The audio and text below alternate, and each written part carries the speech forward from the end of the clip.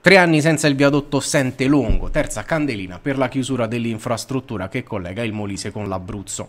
L'interdizione al traffico veicolare infatti risale al 18 settembre del 2018, quando la provincia di Isernia, gestore dell'arteria, decretò lo sbarramento a causa di un movimento franoso che ha contribuito a far traslare una pila che sorregge l'impalcato. Da quella data a nulla sono valse le proteste e gli appelli fatti in particolare dalle popolazioni residenti nei centri a cavallo tra Alto Molise e Alto Vastese.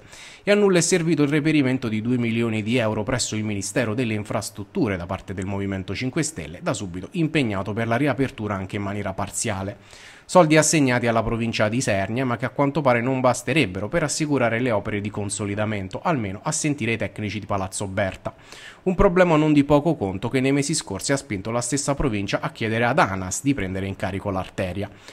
Tuttavia, in attesa di risposte ufficiali da Roma, si continua a vivere una fase di stallo che danneggia ulteriormente la vita socio-economica di chi vive in questi territori. Il presagio di molti è quello che l'infrastruttura non riaprirà più, nonostante l'impegno del Movimento 5 Stelle. Nel frattempo, la terza candelina della chiusura è stata spenta.